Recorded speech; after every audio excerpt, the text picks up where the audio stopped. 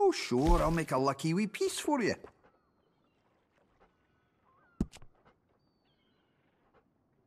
All right, let's have a look-see then.